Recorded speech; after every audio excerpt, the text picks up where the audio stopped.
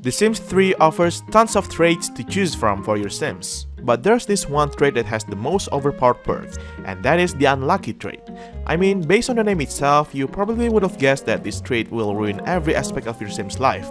Objects they touch are more likely to break, the dishes they cook are more likely to be burnt, they always lose fight, fires happen more often, burglars are more attracted to them, yeah, their whole life will feel like hell.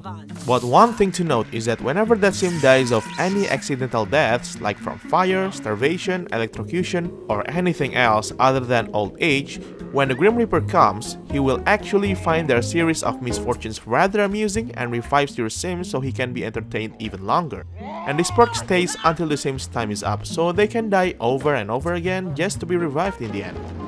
Additionally, if that unlucky sim drinks up the Age Freeze potion from Generations expansion pack, they can pretty much gain immortality and live forever. Pretty neat, right?